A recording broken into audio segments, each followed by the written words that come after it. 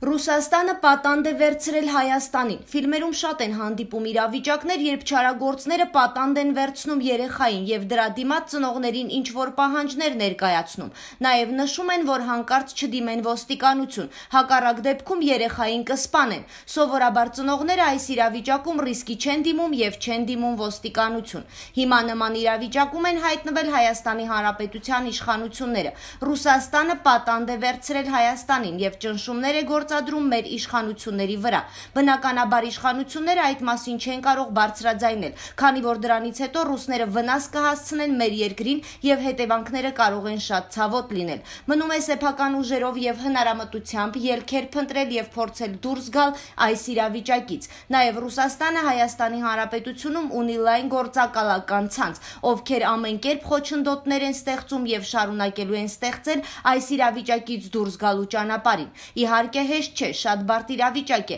բայց ես վստահում եմ մեր իշխանություններին Փաշինյանի գլխավորությամբ եւ վստահ եմ նրանք ի վերջո դուրս կբերեն երկիրը այս իրավիճակից։ Գրառումը կատարել է ժողովրդավար Հայաստան Facebook-յան էջը։ Արթուր Միրզոյանը գրել է. «Առաջիկայում դեռ շատ կտեսնենք էլի ու էլի ճամբարային ռակիրովկաներ։ Տեղերը անհամեմատ քիչ են, իսկ իրենք շատ ու բոլորն էլ մեծախորժակով։ Բոլորն են ուզում ընտրական ցուցակներում լինել առաջին շարքերում, իսկ իրենց ագահության, իշխանատենչության ու մանդատի ծարավի պատճառով ստիպված են լինում լքել իրենց ճամբարները, թքած ունենալով, թե ում անուններով են երդվել մնալ հավատարիմ»։ Սերիկ Գևորքյանը գրել է. «Այսօր վաղ առավոտից մամուլը ողողված ստեղծված է կեղծ ու սին լուրերով։ Արդեն իսկ երկրորդ անգամն է, ինչ բանակցություններից հետո Հայաստանում հայտնի շրջանակները ջանք չխնայելով ամեն բան անում են, որ เป զի Հայաստանում շարունակեն տիրել ադրբեջանական ռոպագանդայի հայտնի թեզերը։ Հետևում ես ու ապշում, ինչպես կարող են մարդիկ այսքան չսիրել Հայաստանը, հայ ժողովրդին ու այսքան ադրբեջանամետ քաղաքականություն վարեն։ Հայաստանում հայտնի շրջանակները լուրեր էին շրջանառում, թե Փաշինյանը պատրաստվում է ինչ որ տարածքներ ու հողեր զիջել Ադրբեջանին։ Անկամ Հայաստանին առաջարկված փաստաթղթի մի մասը հրապարակեցին, սակայն որոշ ժամանակ անց համացանցում տարածվեց այդ փաստաթղթի լուսանկարները, որը առաջարկվել է ստորագրել Փաշինյանին։ Հերթական անգամ Նիկոլ Փաշինյանը շախ ու մատարեց նրանց ու ապացուցեց, որ նա չի ստորագրել եւ չի ստորագրի մի այնպիսի փաստաթուղթ, որը չի բխի Հայաստանի Հանրապետության շահերից։ Իսկ արդեն ժամեր անց Նիկոլ Փաշինյանն ԱԺ արտահերտ նիստին վստահեցրեց, չկա եւ չի կարող լինել նոր ստորագրվելիք փաստաթղթի ոչ մի գաղտնի հավելված։ Նիկոլ Փաշինյանը հայտնեց, դա միակ փաստաթուղթն է, որը գտնվում է աշխատանքային քննարկման մեջ։ Այդ փաստաթղթում ամենակարևոր դրույթն այն է, որ կողմերը պարտավոր են, որ սահմանային իրադրությունները լուծելու են ոչ թե զորքերի փոխադարձ շարժով, այլ դիվանագիտական եւ քաղաքական ճանապարհներով։ Արդյոք սա նոր գաղափար է ոչ, քանի որ ես այդ մասին հայտարարել եմ դեռ մայիսի 17-ին ԱԽ-նիստի ժամանակ։ Փաշինյանը վստահեցնում է, չկա եւ չի կարող լինել ոչ մի գաղտնի հավելված։ Նա նշեց փաստաթղթի վերևի հատվածում գրված է հավելված, քանի որ դա կամ վրիպակ է, կամ պետք է գրված լիներ նախագիծ, կամ էլ դա առաջարկ է այն դիտարկել որպես նոյեմբերի 9-ի հայտարարության հավելված։ Այնպես որ քաղաքական աղբանոցի անդամներին խորհուրդ եմ տալիս չսադրել եւ չփորձել ապատեղեկատվություն տարածել, քանզի մի քանի րոպեում իրականությունը ջրի երես է դուրս գալիս։ Մայիս Սաֆարյանը գրել է. Կարծես թե ամեն ինչ իր տեղն է ընկնում։ Չէի ուզում հավատալ, բայց ստիպված ես ընդունել այն։ Կասկածներ, եզրահանգումներ, որ Ադրբեջանի լկտի գործողությունները գլոբալ լուրջ գործողության հիմք են ծառայում, այլևս կասկած չունի եւ դա իմ կարծիքով ծրագրավորել է Մոսկվան Երևանում իրենց հայ քաղաքական գործիչներ եւ հայ ժողովրդի բարեկամ հորջորջող դավաճան բարեկամների ծրագրավորմամբ եւ այդ ստոր ծրագրի հիմնական բաղադրիչը Սյունիքը Հայաստանից կտրելն է նրա միացումը Արցախին կհրճակվի Լեռնա Հայաստան որը կլինի Ռուսաստանի պրոտեկտորանտը կամ մի մարզ եւ այդ Լեռնա Հայաստանի տերը կլինի Ռոբերտ Քոչարյանը իրեն նոր նժդե հրճակելով հիմա հասկանում եք թե ինչու ինչ որ ան անասուններ ռոբի փողերով դավաճանների կազմակերպման փակում էին Հայաստանի Հանրապետության ղեկավարի ճանապարհը Սյունիք, այսինքն Սյունիքն այլևս Հայաստան չի, անկախ է Արցախի մաս է, որը պատկանում է Ռուսաստանին։ Իմիջայլոց որոշ ոչխարներ վաղորոք արդեն հայտնել էին, որ Սյունիքը դա Արցախն է, ու այս վտանգը տեսնելով էր, որ աշխարհի գերտերությունները հայտարարեցին, որ թույլ չեն տա սահմանների փոփոխություն։ Իսկ Իրանը ավելի པարզ հայտարարեց, որ թույլ չի տա իր սահմաններին նոր պետության հայ հայտնմամբ։ Սրանից էլ པարզ բացահայտում ահազանգ դա Ռուսաստանի մինիմում նպատակն է՝ կտրել Սյունիքը Հայաստանից, փակել Հայաստանի շնչափողերից եւս մեկը,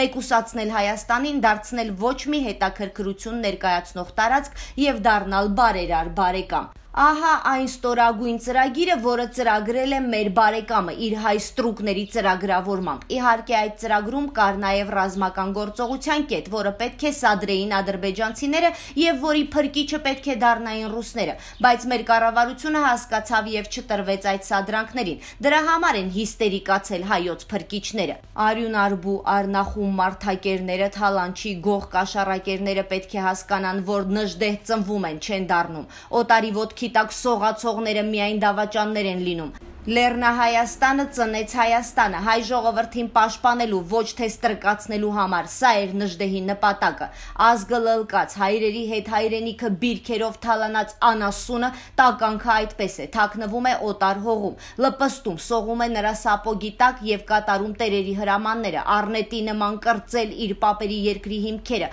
կոբրայի պես թույն ներարկել ժողովրդի մեջ որ เป զի թույլ տան որ իրենք իրենց որովայնը լցնեն ստրուկ լինելով իրենց ստրուկ թուրքների մեջ տեր զգան, սողալով ոտքի կանգնեն նորից վար գցելու սպառնալիքով։ Լրագիրը եմը գրել է. Եվրոպական խորհրդարանը 607 կողմ ձայնով ընդունեց բանաձև, որով պարտադրում է Ադրբեջանին առանց որևէ նախապայմանի ազատ արձակել հայ ռազմագերիներին եւ գերեվարված քաղաքացիական անձանց։ Քննարկումները տևեցին մի քանի ժամ եւ եվրոպացի падգամավորները պարզապես ոչնչացրին Ադրբեջանին։ Այս բանաձևը տևական ու լուրջ աշխատանքի արդյունք էր եւ այս բանաձև բանաձևը ստանալու համար իրապես լուրջ ջանքեր են գործադրել։ Եվրոպական խորհրդարանը հաշվի առնելով Հայաստանի եւ Ադրբեջանի վերաբերյալ իր նախկին բանաձևերը, հաշվի առնելով 2020 թվականի դեկտեմբերի 17-ի ԵՄ Հայաստան բարեկամական խորհուրդը եւ 2020 թվականի դեկտեմբերի 18-ի ԵՄ Ադրբեջան բարեկամական խորհուրդը եւ նրանց համապատասխան